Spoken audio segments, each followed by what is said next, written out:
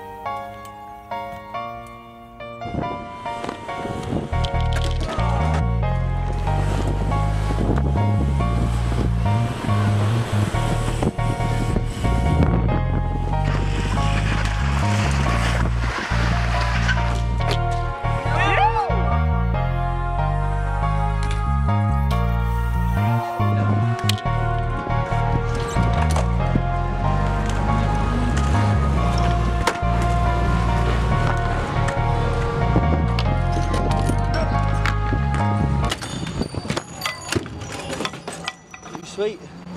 Ugh.